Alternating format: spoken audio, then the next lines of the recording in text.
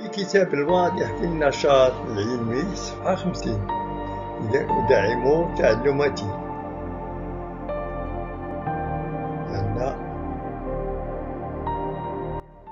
إذن الصفحة خمسين هي هذه التمرين الأول.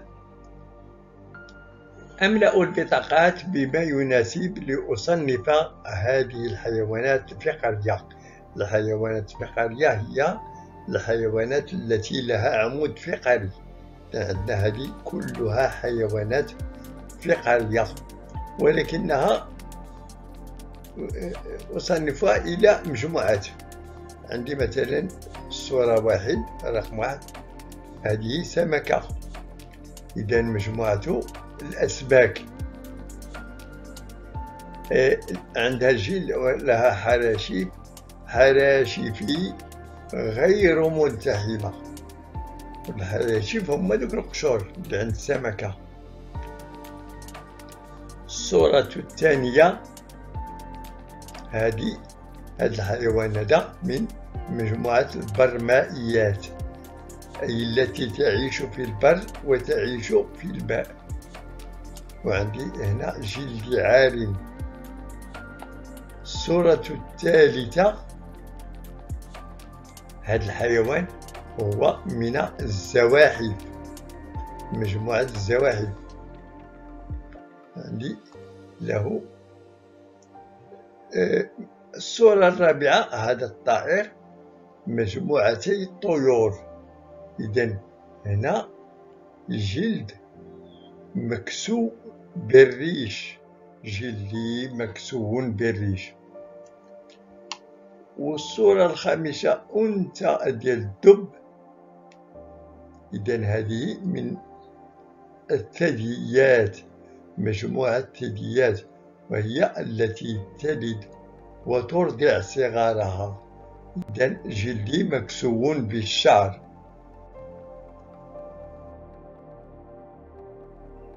تمرين ثاني أضع علامة في خانة الجواب الصحيح. تحتاج النباتات كي تنمو إلى الماء والهواء فقط؟ لا هذا غير صحيح. الماء والأملاح المعدنية والهواء والضوء؟ نعم نعم. إذا أضع علامة لهذا.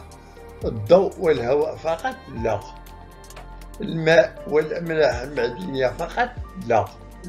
أضع علامة إذا عندي فقط صحيح هو أن النبات يحتاج إلى الماء والأملاح المعدنية والهواء والضوء. ثالث ألاحظ نتيجة كل من التجربتين وأملأ الفراغ بما يناسب. التجربة الأولى عندي نبات في التربة الضوء إذا هذا النبات يبقى أخضر إذا يوجد الضوء يبقى النبات نبات أخضر حيا يبقى النبات حيا وأوراقه تكون خضراء اللون التجربة الثانية لاحظ عندي النبات تربة ولكن عندي ضوء غياب الضوء إذا يوجد ظلام. شنو كيوقع النبات؟ يدبل النبات وأوراقه تكون صفراء. إذا في غياب الضوء يدبل النبات وتصبح أوراقه صفراء اللون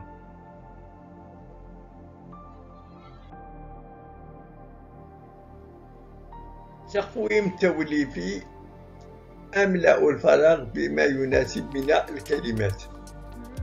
اسم السن. وظيفته عند اللاحم وظيفته عند العاشب. شكله عند اللاحم شكله عند العاشب. عندي هنا القاطعة. القاطعة. ما هي وظيفة هذا السل عند اللحم إذا تقطع اللحم وظيفته الكشط عند العشب وظيفته الاقتلاع وشكله عند اللحم شكله صغير. يكون تكون هذه القطعة صغيرة. شكله عند العاشب كبيرة وحادة. الضرس وظيفته عند اللحم وظيفته التقطيع. عند العاشب. وظيفته عند العاشب. وهو الطحن. شكله عند الدرس. شكل الدرس عند اللحم منشاري شكله عند العاشب. كبير ومسطح ناب ناب وظيفته عند عند اللحم. التمزيق عند العاشب وظيفته صغير جدا أو غائب. غائب عند لأن ما عندوش. عند العاشب ما عندوش الناب شكله عند اللاحم طويل وحاد. إذا عند العشب هو غائب ما عندوش. وأخيرا نأتي إلى نهاية هذا الدرس. شكرا وإلى اللقاء.